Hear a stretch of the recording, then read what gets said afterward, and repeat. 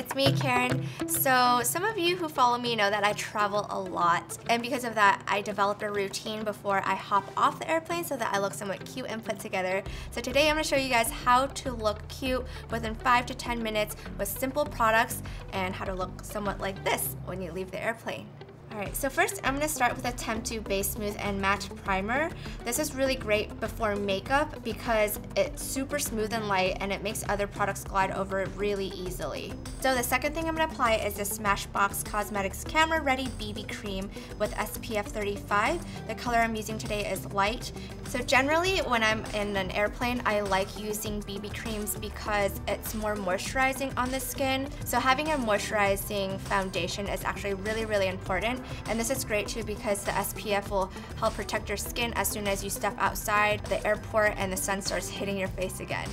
So the key to looking awake is by applying concealer underneath your dark circles. And what you wanna do is just squeeze a little bit because it'll go a long way and warm it up on your finger and then apply it onto your face. I like to apply it underneath my eyes, around the corners of my nose and also my lip area to kind of just get rid of any discoloration and this stuff works like magic. You almost don't need any foundation and just go with BB cream and concealer and you're all good to go.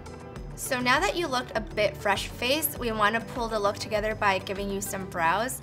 And you can use any eyebrow pencil of your choice. This is what I call the natural eyebrow fill-in. It doesn't look like I carved it out or shaped or anything like that. It's okay because we're just leaving the airport and we just want to look fresh faced.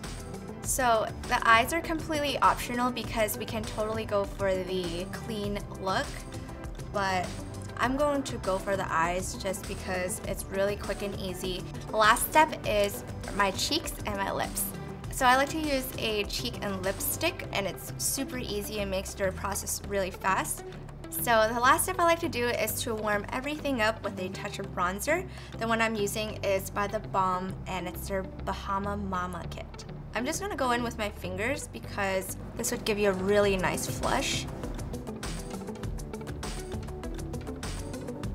I like applying it to the sides of my nose to give the appearance of a more dimensional face. And we're done. All the products that I use today are super duper cute. They're travel size friendly. You can just pop them in your bag. Thank you so much for watching guys and there you have it, your really friendly and easy to go airport look. If you have any products that you always bring with you on the airport, and or airplane, leave a comment below. And feel free to follow me on my channel. It's at I am Kareno. You can find that in the description box below. And have a safe flight, guys. I'll see you guys next time. Bye!